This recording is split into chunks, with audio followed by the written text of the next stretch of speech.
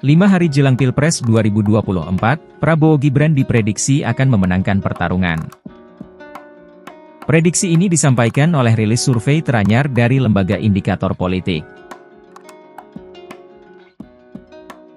Prabowo Gibran diprediksi akan mendapat 54% dan memenangkan Pilpres 2024 dalam satu putaran. Prediksi dilakukan dengan menghitung masing-masing paslon ditambah undecided voters. Hasil survei itu merilis, Prabowo Gibran dapat 51,8 persen, Amin 24,1 persen, Ganjar Mahfud 19,6 persen. Sementara itu, masih ada 4,5 persen pemilih responden yang tidak tahu atau tidak jawab atau undecided voters.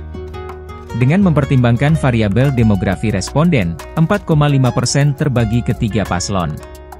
Persebaran suara undecided voters yang merata bisa menguntungkan Prabowo.